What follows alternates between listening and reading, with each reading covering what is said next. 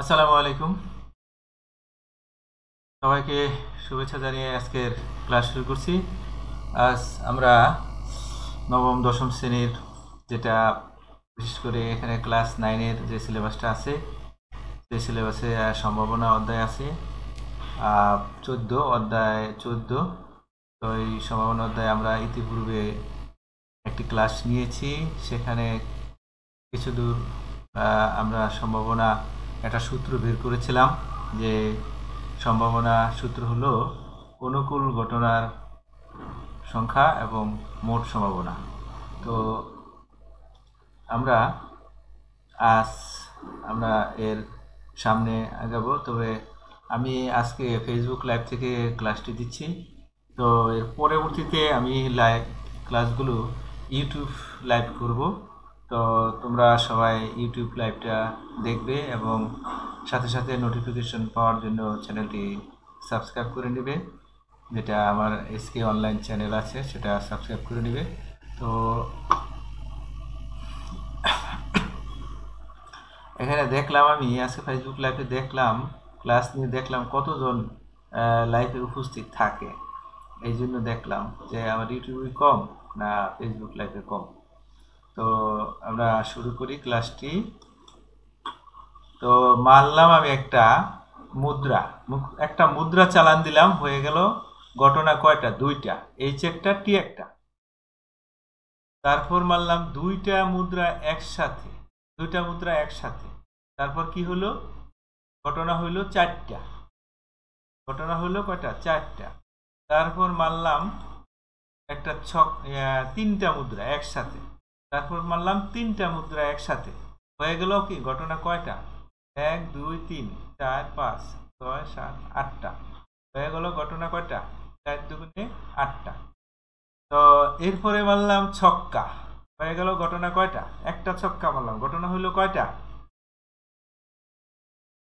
ঘটনা হইল কয়টা? ছয়টা। এরপরে মারলাম দুইটা ছক্কা। হয়ে গেল কয়টা? ছত্রিশটা ঘটনা হয়ে গেল। ছত্রিশটা ঘটনা হয়ে গেল তো এইভাবে আমরা এটা হলো সম্ভাবনা ট্রি এটা নিয়ে আমরা আলোচনা করব পরবর্তীতে।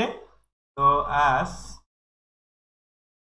আমি অধ্যায় চোদ্দ, সম্ভাবনা যে অধ্যায়টি আছে সেটি আমরা পরবর্তী আগে যে সূত্রগুলো দিয়েছি আমরা এবার পরবর্তী যে সূত্রগুলো আছে সেখানে যাব।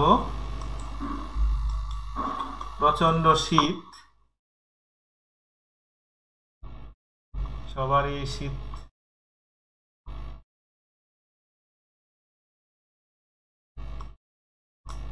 আমরা এই পর্যন্ত করেছিলাম যে একটা উদাহরণ দুইটা করেছিলাম। তার মধ্যে এক, দুই করার পরে একটা সিদ্ধান্তে উপনীত হয়েছিলাম। সেই সিদ্ধান্তটি হল কোনো ঘটনার সম্ভাবনা, উক্ত ঘটনার অনুকূল ফলাফল ডিভাইডেড সমগ্র সম্ভাব্য ফলাফল। এটা আমরা করেছিলাম।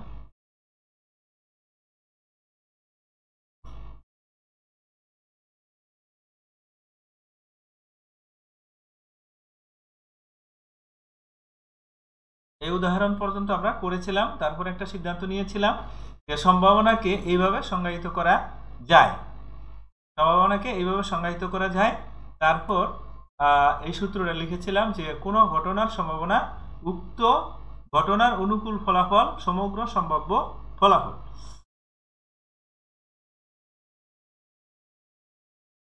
দেখা যাচ্ছে না, তাই না?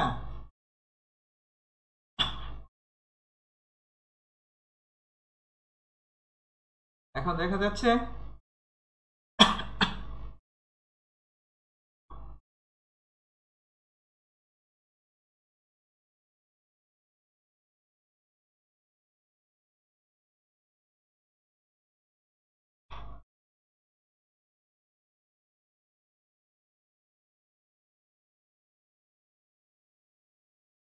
তো আমরা এই পর্যন্ত করেছিলাম।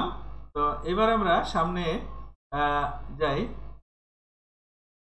সামনে যে কোনো পরীক্ষণে কোনো ঘটনার অনুকূল অনুকূল ফলাফল সর্বনিম্ন শূন্য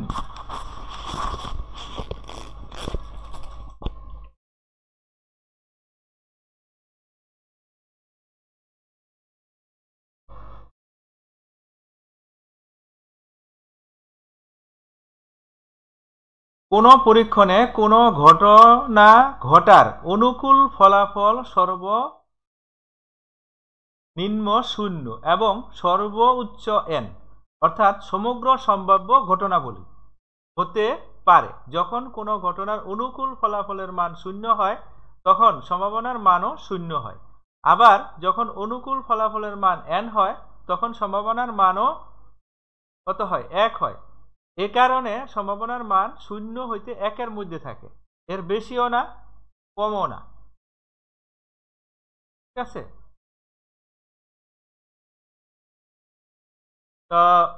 আর আমি এখানে একটা দেখাইলাম, যখন উক্ত ঘটনার অনুকূল ফলাফল শূন্য হয়, তাহলে সম্ভাবনার মান হয় শূন্য। সম্ভাবনার মান কত হয়? শূন্য হয়। আর উক্ত ঘটনার অনুকূল ফলাফল যখন এন হয় হ্যাঁ তখন সমগ্র ফলাফল এন থাকে, তো এন দিয়ে বাক করলে কত হয়? এক হয়। অর্থাৎ সম্ভাবনার সম্ভাবনার এই যে ফেসবুক লাভে এই জন্য ক্লাস করি না, তোমরা নিজেরা চ্যাটিং করছ। নিজেরা নিজেদের মধ্যে চ্যাটিং করছ এই জন্য আগামী ক্লাসে আমি ইউটিউব থেকে লাইভ ক্লাস করব। তো আজকে আসলাম ফেসবুক লাইভে দেখার জন্য তোমরা কি করো? তোমরা এই যে স্টিকার দিতেছ, আমার ইউটিউবে তো একটা স্টিকার দিতে পারো না। তো এখন দেখো, আমি এই পর্যন্ত আসলাম। সূত্র, যে সম্ভাবনার মান সর্বোচ্চ শূন্য, সর্বনিম্ন শূন্য, সর্বোচ্চ এক। তো আমরা এর পরবর্তীতে যাই। দুইটি বিশেষ ধরনের ঘটনা। দুইটি বিশেষ ঘটনা হলো যে কোনো পরীক্ষায় যে ঘটনা অবশ্যই ঘটবে, একে নিশ্চিত ঘটনা বলে। নিশ্চিত ঘটনার ক্ষেত্রে সম্ভাবনার মান এক হয়, যেমন আগামীকাল সূর্য পূর্ব দিকে উঠার সম্ভাবনা এক। আর আজ সূর্য পশ্চিম দিকে অস্ত যাবে, এর সম্ভাবনা এক। রাতের বেলা সূর্য দেখা যাবে না, এর সম্ভাবনা এক। একটা মুদ্রা নিক্ষেপ পরীক্ষায় এইচ অথবা টেল আসার মানে এইচ টি, এইচ অথবা টি মানে হেড অর টেল আসার সম্ভাবনা এক। একটা ছক্কা নিক্ষেপ পরীক্ষায় জোর অথবা বিজোর সংখ্যা আসার সম্ভাবনা এক। এগুলোর পর থেকেই নিশ্চিত ঘটনা। এগুলো পর থেকেই নিশ্চিত ঘটনা। তো আমরা এবার অসম্ভব ঘটনা নিয়ে আলোচনা করব। অসম্ভব। অসম্ভব ঘটনা হলো কোনো পরীক্ষায় যে ঘটনা কখনো ঘটবে না, অর্থাৎ ঘটতে পারে না, একে অসম্ভব ঘটনা বলে। অসম্ভব ঘটনা তার সম্ভাবনা সবসময় শূন্য। অসম্ভব ঘটনার সম্ভাবনার মান সবসময় শূন্য। যেমন আগামীকাল সূর্য পশ্চিম দিকে, পশ্চিম দিক থেকে উঠবে অথবা পূর্ব দিকে অস্ত যাবে, এর সম্ভাবনা শূন্য। তেমনি রাতে সূর্য দেখা যাবে, এর সম্ভাবনা শূন্য। আবার একটা ছক্কা নিক্ষেপে সাত আসার সম্ভাবনা শূন্য। এখানে প্রতিটি ঘটনাই অসম্ভব ঘটনা। এখানে প্রত্যেকটি ঘটনায় অসম্ভব ঘটনা। তাহলে আমরা বলতে পারি যে যেহেতু একটি ছক্কায় পৃষ্ঠা কয়টি? তল আছে কয়টি? ছয়টি তল আছে। তাহলে ছয়টি তলে ছয় পর্যন্ত আসতে পারে। সাত তো আসতে পারে না। আসতে পারে কি? সাফা? মেহাজাবিন বিনতে সাফা। একটা ছক্কায় কি সাত আসার সম্ভাবনা আছে?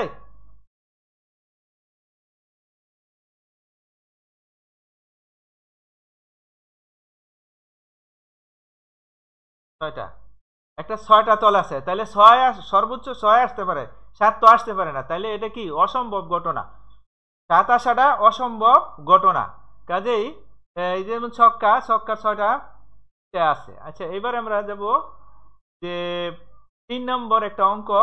তিন নম্বর অঙ্কটা, একটা থলেতে একটা থলেতে চারটা লাল বল, পাঁচটা সাদা বল ও ছয়টা কালো বল আছে। দৈবভাবে একটা বল নেওয়া হলো। বলটি বলটি ক নাম্বার হলো লাল, খ নাম্বার হলো সাদা, গ নাম্বার হলো কালো হওয়ার সম্ভাবনা কত? কালো হওয়ার সম্ভাবনা কত? পুরাপুরি দেখা যাচ্ছে না? আচ্ছা দেখা যাবে এবার আমাকে দেখা যাবে না, তাহলে পুরাটাই দেখা যাবে। ঠিক আছে? তো দেখো এখানে আমি কি বলতে চাচ্ছিলাম যে প্রশ্নটা হলো, একটা থলেতে কয়টি বল আছে? চারটা লাল, পাঁচটা সাদা, ছয়টা কালো। তাহলে অঙ্কটা হলো যে লাল, সাদা ও কালো হওয়ার সম্ভাবনা কত? আলাদা আলাদা বের করতে হবে। আলাদা আলাদা বের করতে হবে। তো থলেতে মোট বলের সংখ্যা কয়টি? চার যোগ পাঁচ নয় যোগ ছয় সমান সমান পনেরো। তাহলে পনেরো যদি হয়, তাহলে মোট সম্ভাব্য ঘটনা হলো কত? পনেরো। মোট সম্ভাবনা ঘটনা হলো পনেরো। থলেতে মোট বলের সংখ্যা পনেরোটি। দৈবভাবে একটা বল নেওয়া হলে পনেরোটি বলের যে কোনো একটি আসতে পারে। দৈবভাবে একটি যদি নেওয়া হয়, আমরা দৈব ঘটনা ইতিপূর্বে আলোচনা করেছি, তো পনেরোটির মধ্যে যে হাত দিয়ে যদি আমি থলের থেকে একটা বল উঠাই, সেটা কি? বলের যে কোনো একটি আসতে পারে। সুতরাং সমগ্র সম্ভাব্য ফল কয়টি? পনেরোটি। তা এখন ক নাম্বারটা কি বলছে? লাল হওয়ার সম্ভাবনা কত? দড়ি, লাল বল হওয়ার সম্ভাবনা হলো আর। লাল বল হওয়ার সম্ভাবনা হলো আর। থলেতে মোট চারটি লাল বল আছে। থলেতে কয়টি বল আছে? চারটি লাল বল আছে। তাহলে এদের যে কোনো একটি আসলে লাল হবে। তাহলে চারটার মধ্যে যে কোনো একটা আসলে লাল হবে। তাহলে লাল বলের অনুকূল ফলাফল কয়টি? আমি আবার বলছি, ফলেতে চারটি লাল বল আছে, পাঁচটি সাদা বল আছে, ছয়টি কালো বল আছে। এখন, লাল বল হওয়ার সম্ভাবনা কত? আমি থলে থেকে একটা বল উঠাইলাম একটা দুইটা করে উঠাইলাম লাল এরকম করে সর্বোচ্চ লাল বল কয়টা আসবে? লাল বল কয়টা আসবে? সর্বোচ্চ থলে থেকে যদি একটা একটা করে বল উঠায়, সর্বোচ্চ লাল বল কয়টি আসবে? একজন উত্তর দাও।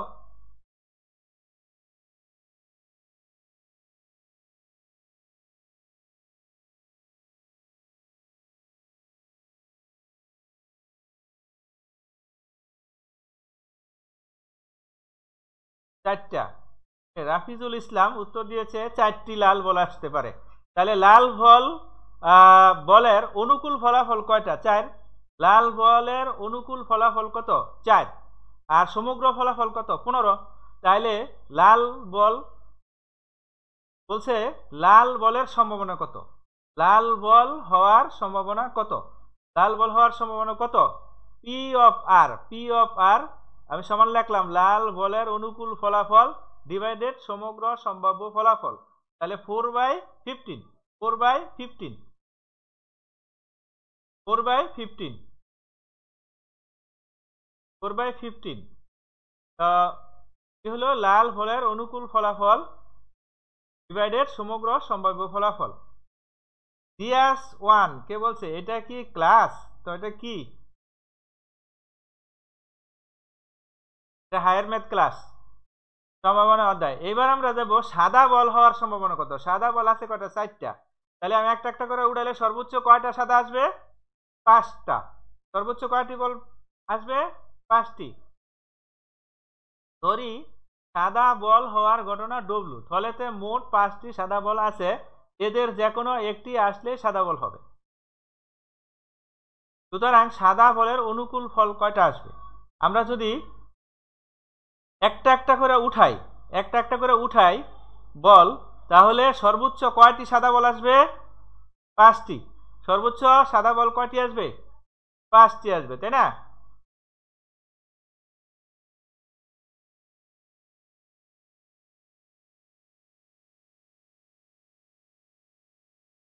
সর্বোচ্চ ফলাফল কয়টি আসবে? পাঁচটি।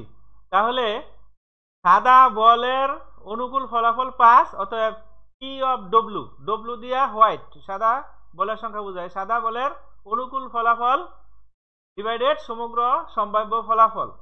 তাহলে এটার মান কত? ফাইভ বাই ফিফটিন কি ফাইভ বাই ফিফটিন এবং কাটাকাটি করলে আমরা কত পাই? তিন ভাগের এক ভাগ। অর্থাৎ ওয়ান বাই থ্রি হলো সাদা বলের সম্ভাবনা। সাদা বলের সম্ভাবনা হলো কত? ওয়ান বাই থ্রি এবার দড়ি কালো বল হওয়ার সম্ভব, ঘটনা হলো কয়টি? কালো বলের ঘটনা হলো বি বি দিয়া ব্ল্যাক বোঝায়? আমার খুব শীত করতেছে, শরীর কাঁপাইতেছে। আচ্ছা তো ধরি কালো বল হওয়ার ঘটনা বি ফলেতে মোট কয়টি বল আছে?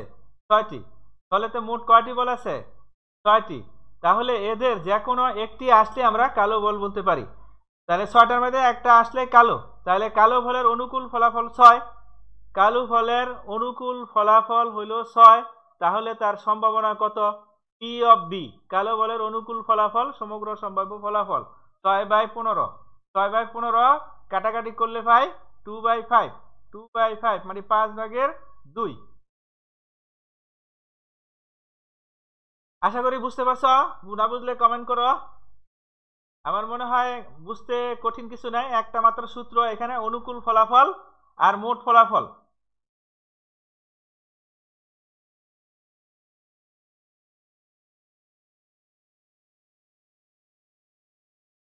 তো নেক্সট ক্লাস আমি ইউটিউব থেকে করব।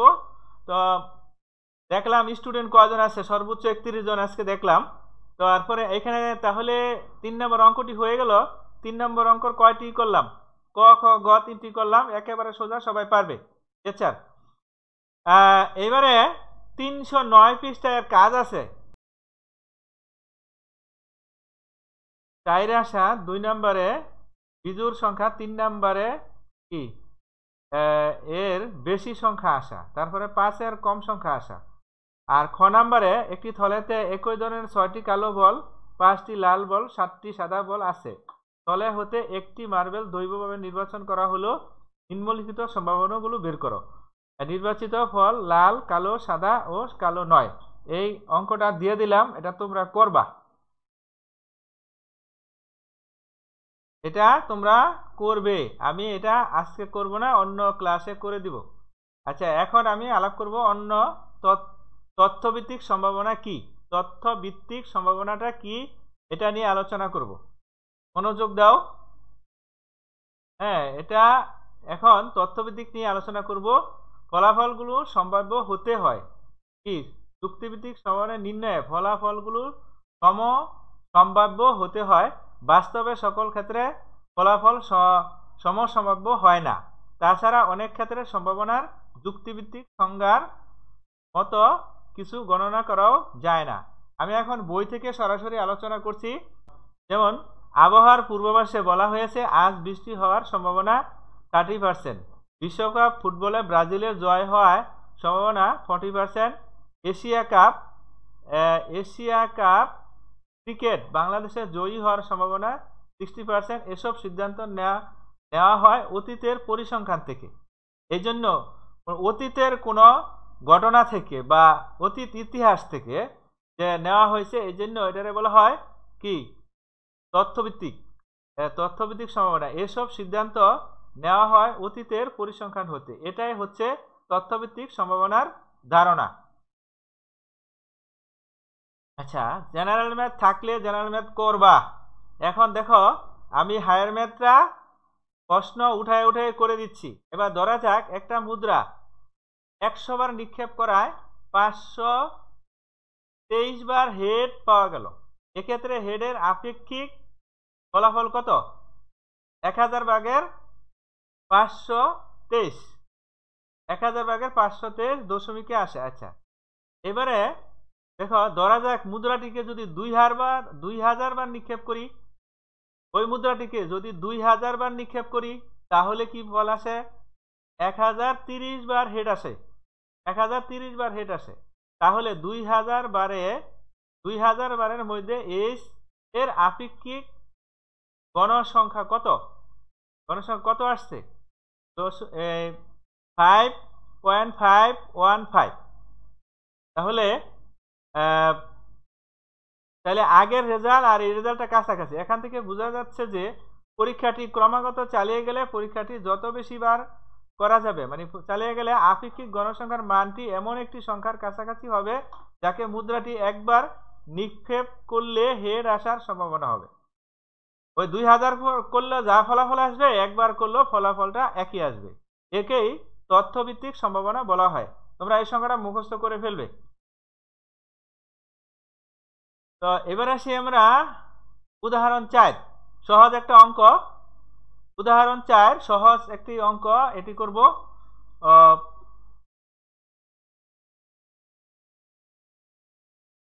সময় বেশি নাই। এই একটা অঙ্ক করি, তারপরে আজকের মতো ক্লাস শেষ করব। তো উদাহরণ চার, আবহাওয়া দপ্তর থেকে পাওয়া রিপোর্ট অনুযায়ী জুলাই মাসে ঢাকা শহরে একুশ দিন বৃষ্টিপাত হয়েছে। তাহলে আট জুলাই বৃষ্টি হওয়ার সম্ভাবনা কত? আট জুলাই বৃষ্টি হওয়ার সম্ভাবনা কত?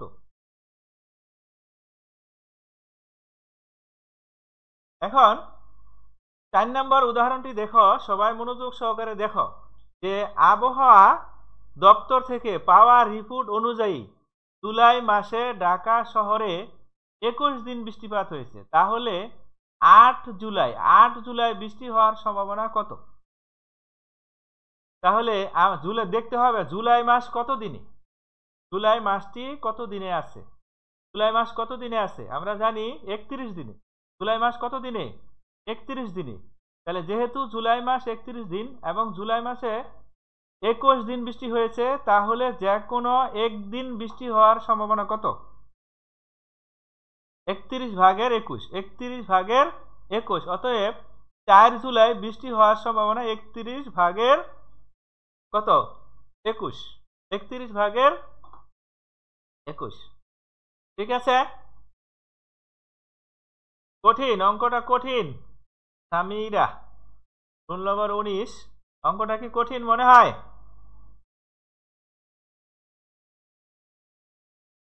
ওয়ালাইকুম সালাম। হুমায়ুন কবির হুমায়ুন। ওয়ালাইকুম সালাম। আমরা নেক্সট ক্লাস আমার চ্যানেল ইউটিউব চ্যানেল থেকে নিব। সবাই ইউটিউবে ক্লাস করবে।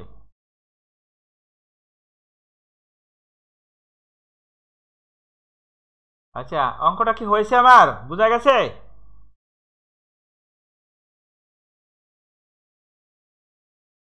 জটিল। সোনিয়া, সুলতানা, জটিল না জটিল না। সহজ, একেবারে সহজ। এখানে মোট ফলাফলের সম্ভাবনা কত দেখতে হবে তো? একত্রিশ দিন, এর মধ্যে বৃষ্টি হয়েছে কয়দিন একুশ দিন একুশ দিন। তাহলে একুশ দিন অনুকূল ঘটনা কয়দিন অনুকূল ঘটনা কয়দিন অনুকূল ঘটনা হলো একুশ দিন। অনুকূল ঘটনা হলো একুশ দিন। আর মোট দিনের সংখ্যা কত? মোট সম্ভাব্য ঘটনা কত? একত্রিশ দিন। তাহলে ফলাফল কত? একত্রিশ বাকের একুশ। অঙ্ক কি আরও করব? আর একটা করব? পাঁচ নম্বর অঙ্কটা কি করব? উদাহরণ ফাইভ দেখি, কে করে? পাঁচ নম্বরটা কি করব?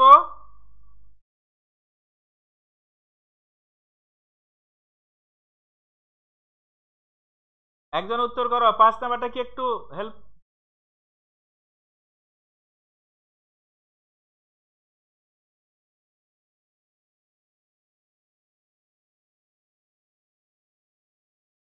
চ্যানেল নাম SK online channel SK online channel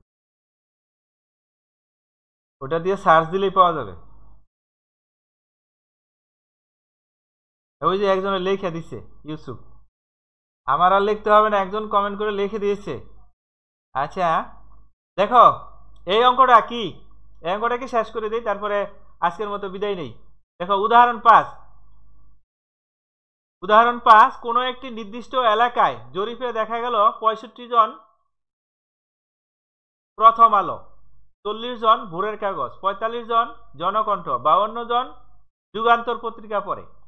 এদের মধ্যে এদের মধ্যে হইতে একজনকে দৈবভাবে নির্বাচন করলে তিনি যুগান্তর পত্রিকা পড়েন, এর সম্ভাবনা কত? তিনি যুগান্তর পত্রিকা পড়েন, এর সম্ভাবনা কত?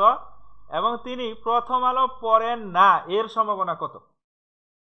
একটু মনোযোগ দিয়ে দেখো।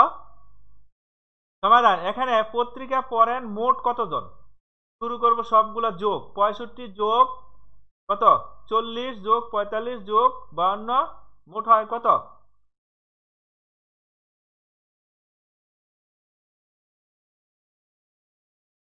আমি কি একটু ক্যালকুলেটর ব্যবহার করব?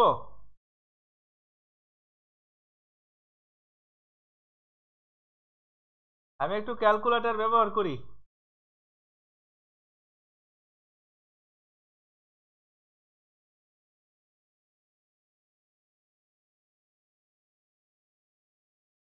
কত কতজন পঁয়ষট্টি জন। পঁয়ষট্টি যোগ চল্লিশ। যোগ পঁয়তাল্লিশ। যোগ বাউন্ন সমান কত? দুইশো দুই। ঠিক আছে তো? তোমরা করছ যোগ, আমি একটু ক্যালকুলেটরটা দেখাই নিলাম। যোগ করে দেখাইলাম আচ্ছা। এখন, তাহলে এখানে পত্রিকা পড়েন, মোট হইল দুইশো দুইজন যুগান্তর পত্রিকা পড়েন বাউন্ন জন। সুতরাং ওই ব্যক্তির যুগান্তর পত্রিকা পড়ার সম্ভাবনা কত? যুগান্তর পত্রিকা পড়ার সম্ভাবনা কত? যতক্ষণ পরে যতজন পরে তার কি? সেটা হলো অনুকূল ফলাফল। অনুকূল ফলাফল, তাইলে দুইশো দুই ভাগের বাউন্ন, দুইশো দুই ভাগের বাউন্ন। তো এইবারে ওই যে প্রথম আলো পড়েন না, এর সম্ভাবনা কত সেটা বের করি?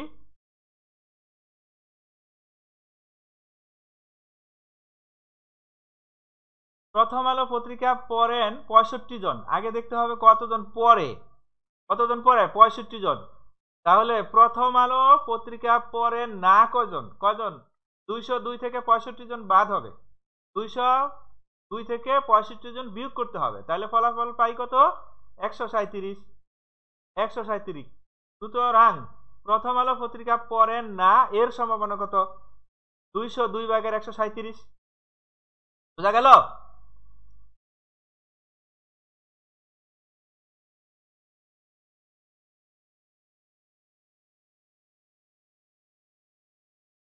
ফলাফল কি বোঝা গেল?